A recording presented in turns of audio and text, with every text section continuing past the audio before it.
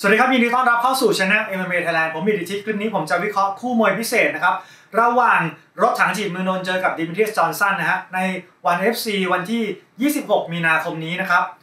มาพูดถึงกติกากันนะครับ กติกาเนั้นอาจจะเป็นกติกาแบบลูกผสมนะครับ ก็คือมียกที่เป็นมวยไทยเต็มๆมียกที่เป็น MMA เต็มๆกติกานี้เนี่ยถ้าเราพูดถึงกันจริงๆแล้วเนี่ยมันไม่ใช่กติกาใหม่อะไรนะครับเคยมีมาแล้วใน K1 เมื่อสมัยก่อนยกตัวอย่างเช่นคู่ของบ๊อบแซปเจอกับ เจอโรมเลอแบนเนอร์นะครับก็จะมีการสลับยกระหว่าง MMA กับ Kickboxing อะไรประมาณนั้นนะครับ ส่วนของ fight นี้นะครับก็จะแบ่งออกเป็น 4 ยกด้วยกันนะครับ ยกละ 3 นาที โดยที่ยกแรกจะเป็นมวยไทยนะครับ ยกที่ 2 จะเป็น MMA ยกที่ 3 จะเป็นมวยไทย ยกที่ 4 จะเป็น MMA นะครับ ถ้าเกิดว่าคู่นี้ไม่มีการน็อกเอาท์ไม่มีการ submission เป็นการ TKO นะครับ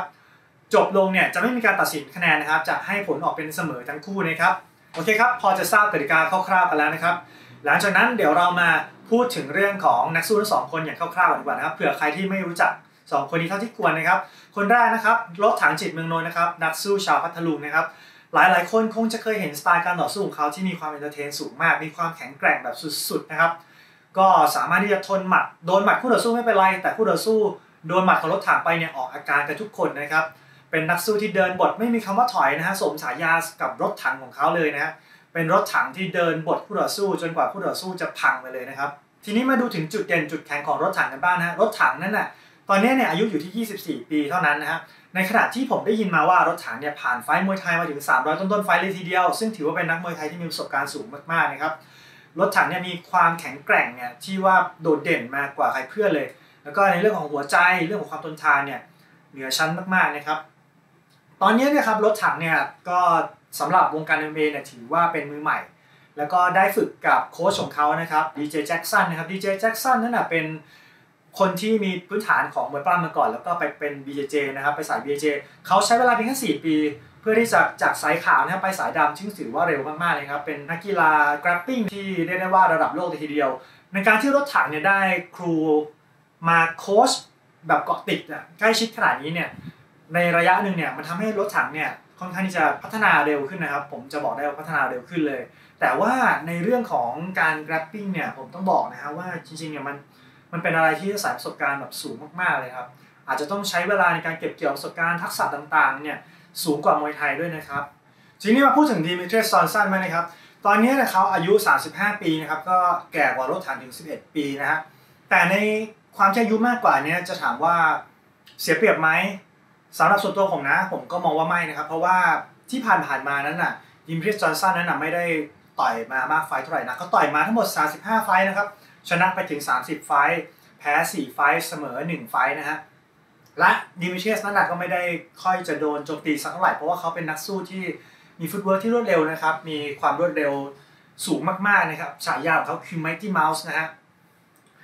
ดิมิเทรียสจอห์นสันนั้นน่ะเมื่อในอดีตเมื่อไม่กี่ปีก่อนหน้านี้นะครับเขาเคยเป็นแชมป์ UFC ด้วย แล้วก็เคยเป็นนักสู้ที่เก่งที่สุดระดับ1ปอนด์ต่อปอนด์สำหรับ MMA ของโลกเลยนะครับเขาเป็นนักสู้ที่เก่งมากๆ แต่ว่าตอนหลังเนี่ยหลังจากมาอยู่วัน FC เนี้ยก็ทำผลงานได้โอเคนะครับ แต่ใน fight สุดท้ายเนี่ยได้แพ้เสียแชมป์ให้ไปกับนักสู้ชาวบราซิลนะครับจุดเด่นของดิมิเทรียสจอห์นสันนั้นนะก็คือเป็นคนที่มีความครบเครื่องนะครับ สามารถที่จะยืนสู้ได้ดีปล้ำได้ดี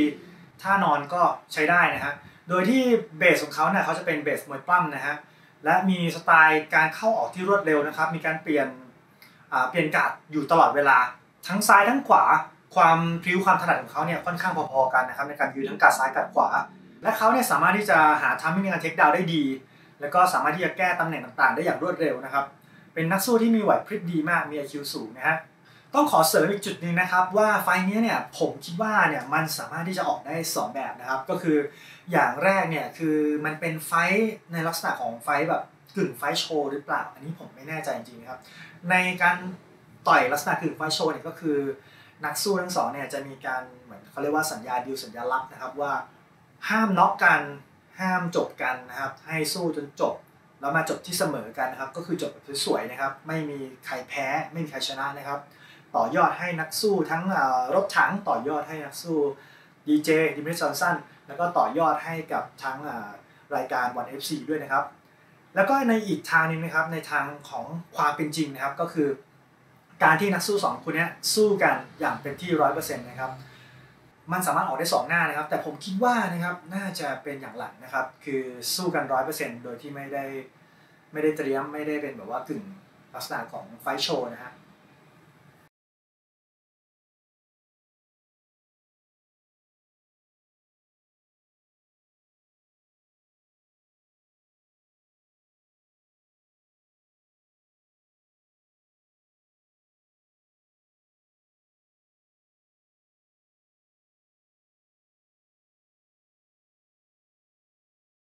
มาเข้าสู่การวิเคราะห์ไฟท์กันดีกว่านะครับในยกที่ 1 จะเป็นยกที่เป็นกติกามวยไทย ใช้เวลา 3 นาทีนะครับ หลายๆ คนก็คิดว่ารถถังเนี่ยสามารถที่จะน็อกดิมิเทรียสจอห์นสันได้ในยกที่ 1 เพราะว่าถ้าเกิดว่าเข้าสู่ยกที่ 2 ที่เป็นยก MMA น่ะก็รถถังอาจจะมีปัญหาได้นะครับสำหรับการที่ว่ารถถังจะน็อกดิมิเทรียสจอห์นสันได้ในยกที่1ไหมในมุมมองของผมนะครับ ผมมองว่าไม่สามารถทำได้ครับ เหตุผลเพราะอะไรนะครับ ผมได้เก็บข้อมูลมานะครับ อ้างอิงจากสถิติข้อมูลนะครับ 12 ไฟท์ที่ผ่านมาเนี่ยรถถังเนี่ยสามารถที่จะจบนักสู้ได้คนเดียวก็คือโจนาธานแฮกเกอร์ตี้นะครับในเวทีสี่เหลี่ยมนะครับ และ 7 ไฟท์หลังล่าสุดเนี่ยจบด้วยการชนะคะแนนนะครับไม่ได้ชนะ TKO หรือว่าน็อกเอาท์คู่ต่อสู้ไปนะครับ นั่นก็แสดงให้เห็นว่านะครับในการที่จะจบใครคนหนึ่งในยกที่1เนี่ยในเวลาเพียง3นาทีเนี่ยมันค่อนข้างที่จะทำได้ยากนะครับ ถ้าเกิดว่าผู้ต่อสู้นั้นไม่ได้ อ่อนกว่ามากๆนะฮะและในจุดที่2นะครับในเรื่องของเวทีนะครับในวัน FC เนี่ยเวทีจะเป็นเวทีวงกลม ซึ่งใหญ่มากๆนะครับ และในการสู้ในสไตล์มวยไทยเนี่ยนักนักสู้เนี่ยจะถนัดที่เป็นเวทีสี่เหลี่ยมถูกไหมครับ ในแมตช์ที่เขาชนะ TKO โจนาธานแฮกเกอร์ตี้นะครับเขาได้ต่อยในเวทีที่เป็นสี่เหลี่ยม ซึ่งเวทีสี่เหลี่ยมนั้นน่ะมันจะสามารถไล่คู่ต่อสู้จนมุมได้เข้าไปที่มุม หรือว่าชิดเวทีมันก็จะเล็กกว่าด้วย แต่ในขณะที่เวทีของวัน FC นะครับเวทีวงกลมเนี่ยมันใหญ่มากๆ แล้วก็มันมีแบบว่าเขาเรียกว่าไงมันกว้างครับมันไม่ได้เป็นมุมอย่างแท้จริงนะครับในการที่จะไล่คู่ต่อสู้เข้าไปเนี่ยคู่ต่อสู้เนี่ยก็สามารถที่จะออกได้ โดยเฉพาะยิ่งเป็น Mighty Mouse นะครับดิมิเทรจอห์นสันเนี่ยเขามีความเร็วเนี่ยที่สูงมากจริงครับ Mighty Mouse เนี่ยก็สำหรับที่ผมคิดไว้นะครับเขาก็จะไม่ประทะรถถังเต็มๆหรอก ก็คือจะมีการเข้าออกเข้าออก และรถถังเนี่ย ก็คือเวลาเจอกับคู่ต่อสู้ใช่ไหมครับ จะเจอคู่ต่อสู้ที่เป็นสไตล์เบสพวกมวยไทยเป็นหลักนะฮะแม้เมื่อเจอกับ Mighty Mouse นะครับจะเป็นสไตล์ที่เรียกได้ว่าเป็นสไตล์ไม่ใช่สไตล์มวยไทยนะครับเป็นสไตล์ที่มีการเปลี่ยนการ์ดมีการเข้าออกจะคล้ายๆประมาณเหมือนอผมก็บอกไม่ถูกนะ เรียกว่า MMA แล้วกัน สไตล์เขาจะเข้าออกเร็ว ก็คือการที่จะเตะไปเนี่ยให้โดน Mighty Mouse เนี่ยก็ค่อนข้างยากเพราะเขาจะไม่ได้อยู่เล่นในระยะที่ระยะมวยไทยนะเพราะระยะมวยไทยเนี่ยจะยืนค่อนข้างที่จะระยะกลางหรือว่าระยะใกล้ถูกไหมครับแต่ดิมิสจอห์นสันเนี่ยเขาจะยืนระยะไกลและยิ่งเวทีใหญ่เนี่ยเหมือนเล่นไล่จับเลยครับแต่ผมไม่ได้หมายถึงว่าดิมิสจอห์นสันจะหนีอย่างเดียวนะครับ ผมมั่นใจว่ายังไงเขาอะก็ต้องมีการออกอาวุธด้วย มีการเข้าบวกด้วย แต่มันเป็นการยากมากที่จะจบในยกที่หนึ่งเพราะว่าถึง รถถังออกอาวุธแบบเข้าเต็มๆได้นะครับ เมื่อ Mighty Mouse เนี่ยบาดเจ็บหรือว่ารู้สึกว่าเอ้ยโดนไปแล้วอาจจะมีการถอยมาพัก recovery อะไรประมาณนั้นนะครับด้วยความที่เขามี speed footwork ขาที่เร็วเนี่ยแล้วก็มีสไตล์ที่แตกต่างจากนักมวยไทยทั่วไปเนี่ยมันก็ทำให้รถถังค่อนข้างจัดทางยาก แล้วก็ยากที่จะจบในยกที่1นะครับจากนั้นนะครับเราก็จะผ่านไปนะครับสู่ยกที่ 2 ซึ่งเป็นยกในกติกา MMA นะครับในการฝึกซ้อมนะครับเราจะเห็นเลยนะครับว่า การของรถถังนั้นนะมีการเปลี่ยนไปนะฮะมันอาจจะทำให้รถถังนั้นนะสู้ไม่ถนัดในยกกติกาของ MMA ด้วยนะครับเห็นไหมครับว่าการยืนมวยของรถถังน่ะเปลี่ยนไปอย่างมากเลย เราเห็นว่าการเขากว้างขึ้น แขนเขาเนี่ยลงมากขึ้น เพื่อที่จะเน้นการป้องกันแบบเรียกได้ว่า ป้องกันเต็มรูปแบบเลยว่างั้น มันทำให้การโจมตีของเขาเนี่ยมันลดลงมากอย่างแน่นอนนะครับ มันก็อาจจะเป็นจุดอีกจุดหนึ่งนะครับที่ทำให้ค่อนข้างที่จะเสียเปรียบนะครับ ในกติกา MMA นะปกติจะมีทั้งหมด 5 นาทีนะครับ ใน 5 นาทีนั้นเนี่ยตอนนี้เนี่ยสำหรับกติกาเนี่ยจะถูกลดมาเหลือ 3 นาทีเท่านั้น 3 นาทีเนี้ยมันก็จะทำให้ power ของ Demetrius Johnson เนี่ยมันลดลงมานะครับ เพราะว่า 5 นาทีเนี่ยลองจินตนาการดูนะครับว่าถ้าเกิดว่าสมมติว่าเล่นกราฟเกมเนี่ยมันทำให้